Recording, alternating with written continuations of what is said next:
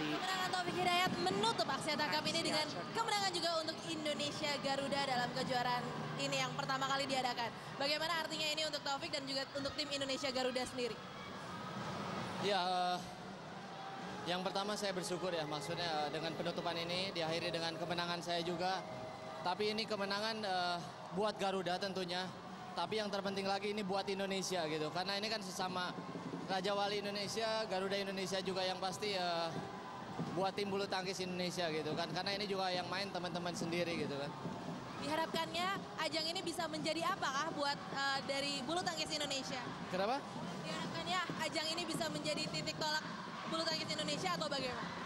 Ya, saya harap dengan eh, diadakannya pertandingan ini bisa titik ada titik terang untuk menjelang eh, Piala Thomas bulan bulan Mei nanti itu kejuaraan beregu juga karena ini beregu juga dan saya harapkan dengan eh, ada pertandingan ini ada live juga bisa membangkitkan gairah bulu tangkis Indonesia lagi. gitu.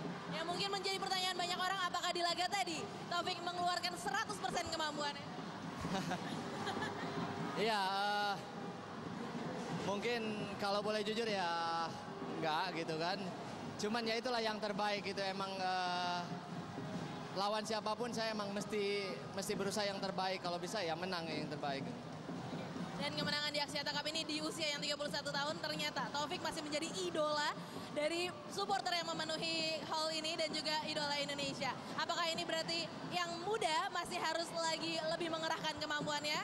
Atau Mas Taufik mau memberikan pesan apa?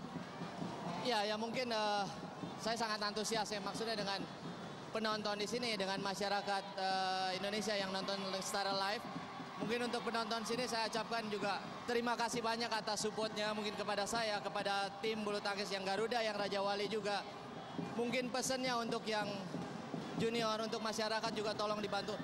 Ya itulah adanya regenerasi gitu maksudnya yang kita masih tertinggal jauh gitu kan maksudnya masih kelihatan yang muda yang eh, yang udah tua jaraknya gitu. Saya harap ya mungkin tadi Cesar untuk ke depannya bisa lebih baik lagi dan untuk eh, bulu tangkis Indonesia juga bisa mempersiapkan diri lebih bagus lagi. Dan sekali lagi saya ucapkan terima kasih kepada supporter yang datang ke lapangan sini. Atas dukungannya dan saya harap selalu membanggakan olahraga bulu tangkis dan